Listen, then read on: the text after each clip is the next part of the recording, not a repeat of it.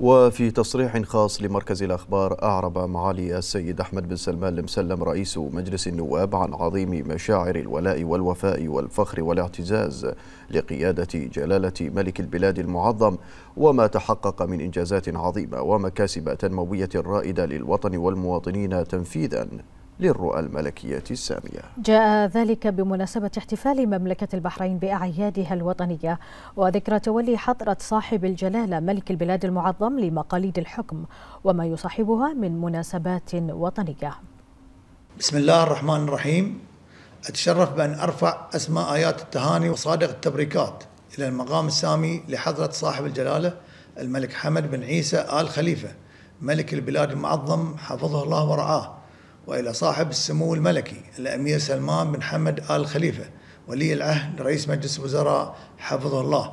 بمناسبة احتفالات مملكة البحرين بأعيادها الوطنية إحياء لذكرى قيام الدولة البحرينية الحديثة في عهد المؤسس أحمد الفاتح كدولة عربية مسلمة عام 1783 ميلادية.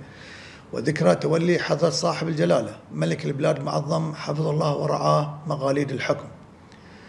ويسرني أن أهنئ شعب مملكة البحرين بهذه المناسبة الوطنية مشيدا بما حققه فريق البحرين من إنجازات رائدة ومتميزة على كافة الأصعدة والمجالات.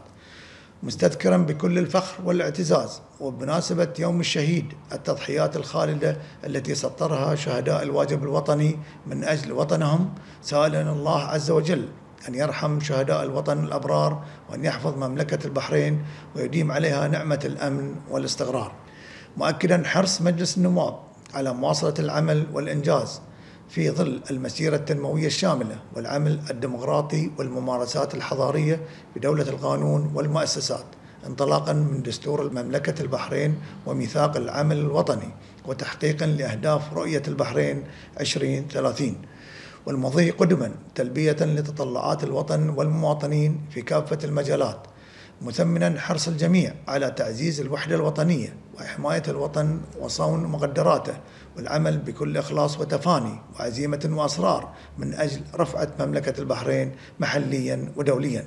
وكل عام ومملكة البحرين بخير وتقدم ونماء وازدهار في ظل القيادة الحكيمة لجلالة الملك المعظم حفظه الله ورعاه.